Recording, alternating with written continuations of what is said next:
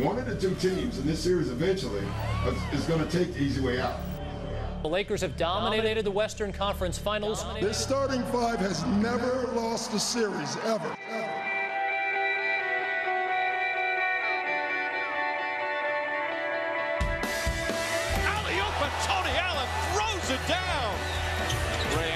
Allen and the catch and shoot three is good. That will do it. The Celtics take game one on the road. It ain't gonna be easy, but listen, we gotta keep playing together. Paul Pierce loving the miss and having his team up 2-0. Y'all hear me? We coming home to close it out. Bryant on the 40 for Kobe Bryant. Double team to pursuit. Head of the key finds a wide open Pau Gasol at the rim. He will lay it in. Go to Pau Gasol. Go back to the well.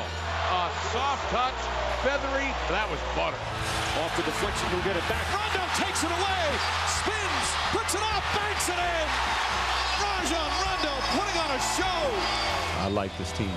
You know, I like the guys on this team. We can win it with the guys that are on this team. Kobe, turnaround jump shot. A three is short. Artest the rebound. Oh!